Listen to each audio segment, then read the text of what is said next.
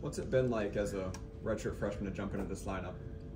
Uh, I mean, so far it's been fun. We've only had a couple of opportunities so far, but you know, I'm still kind of getting used to it with my routine and everything. But I think it's going pretty good. How have you seen you and your brother progress? Because I mean, I if you look at the recruiting rankings, like yeah, relatively high rated recruits, but to jump in the lineup as freshmen, both of you is impressive, especially beating out guys who were maybe expected to get the spot from an outside perspective. Yeah, um, I'd say a big thing was the off season. We put a lot of work in in the wrestling room and the weight room, uh, just trying to get as best as possible. And then this year, you know, weight wise, uh, was really, really a big thing to kind of get dialed in, get that routine going. Dresser said you lost a coin flip between you and your brother to get to 33. He won the coin flip, which is why he got to 41. Is that is there any truth to that, or is that the decision you guys made? Like, hey, I can drop Uh, the weight.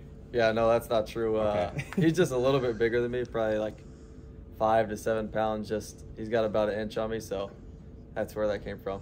He's always been one weight class above me. Okay. talking with like everybody in the room all year long or in the preseason it was guys that were standing out were you and your brother and in, in particular your guys' work ethic and your drive where does that come from just that constant every day going out and just giving it your best Um, I don't know if there's like a specific thing that it comes from. I think it's just routine that I've been doing for a while now. It's just try to get as best as possible and I don't know, give everything I got during the practice. is there a bit of just you know when you have someone like your brother like an equal where you go back and forth that just kind of maybe elevates that a little bit for you Probably, yeah. It's uh, it's always been like a little, I don't know, type of edge kind of thing. That uh, if I see him going super hard at practice, you know, if he's super tired or if he's sweating a lot more than me, then I guess I didn't have uh, that good of a day compared to him.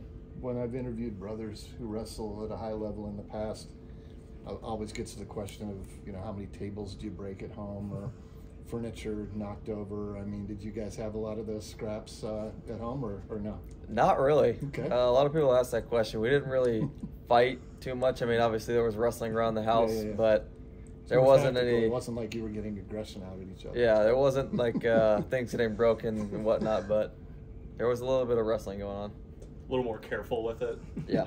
yeah. We obviously talk about you and your brother as a pair, your twins. What makes you guys different? Uh, than other twins, or than Then You other. as individuals. oh, um, I don't know. I guess you got to ask people on the team. Uh, a lot of people, even them, they don't know, but looks wise, I'm just a little bit smaller than them. It's hard to tell, but I think we're different people. Got a little How- bit different uh, personalities. how often do you have to tell like when you're in practice or just walking around you have to be like i'm not jacob Good bit. To be honest, there's a there's a there's some people that know uh, 100%, but there's also you know that group of people who can miss a couple of times, especially if we're turned around or something. Yeah. So you said you feel like you guys are really different. What makes you different from your brother? Not even speaking from like a wrestling standpoint, just as people. I don't know. That's, to be honest, that's even a hard question because we do do everything you know the same, even our day to day, what time we eat and stuff. But I don't know. I think it's just personally, I think maybe I'm a little bit different than him in terms of I don't know. He might be a little more serious, or at times I might be more a little more serious, stuff like that. How would you describe your bond with him? Oh, it's tight. Um, yeah, we have a really, really close bond. We, I mean, like I said, we do everything together all 24 hours of the day. So, yeah, it's it's like nothing else. Do you ever accidentally put on like the same uh, outfit or something? Sometimes, yeah. like in practice, uh, I think that's uh, something that also doesn't help people in the room is we'll wear the same Same exact thing. thing. I mean, our shoes will be different. He's got a little bit of uh, white shoes going on, so I think that's the only thing that's different. But yeah, a lot of times we wear the same thing. Are you guys taking classes together, like same schedule, or is it a little Yeah, different? yeah, we got the same schedule. What are you guys studying? Mechanical engineer. Okay. How you liking that so far? I like it. It's tough, obviously, but you know, get through it. What are you looking forward to out of Wisconsin on Sunday? Um, I think I wrestled that same guy last year, uh, Rivera. So if that is the same guy, I'm looking.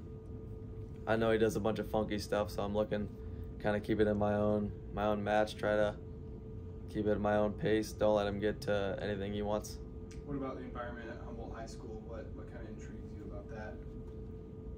I don't know. I've never been. I didn't go to any of the duals last year, and I didn't. Uh, I think I watched it, but seems like a fun place. Seems seems loud. So. Anything else? Thanks.